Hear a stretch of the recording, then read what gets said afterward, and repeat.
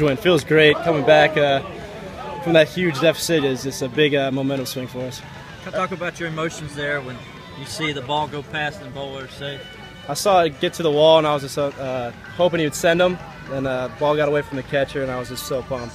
Biggest win right there. What kind of pitch you got on 0-2? Uh, fastball, and luckily got in the gap, and Garrett hustled around.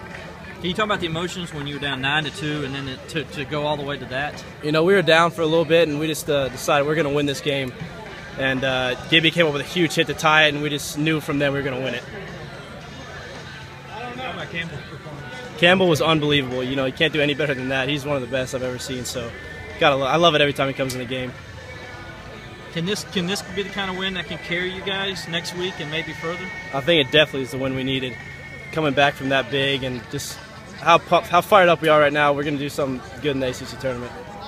And after that, That at bat, and obviously the way it concluded. Well, I tell you, I've been, I've been in that position so many times throughout my career that you know it kind of comes secondhanded now to me. Um, you know, it's just a matter of staying calm, keeping your nerves in check, and, and I was able to, to battle, battle, and finally got a good pitch to hit, and I was able, be able to uh, tie the game up.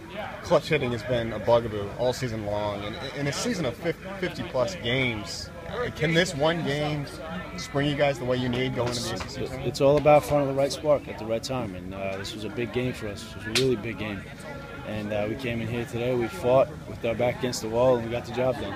The season probably hasn't gone the way you would have liked for it to, but how big was it to come up in the clutch situation today? Yeah, I mean, you know, it is what it is with, with what's happened this season for me personally. But um, you know, it's all about the team and, and whatever I can do to help the guys win. You know, I'm, I'm, I'm there to do it.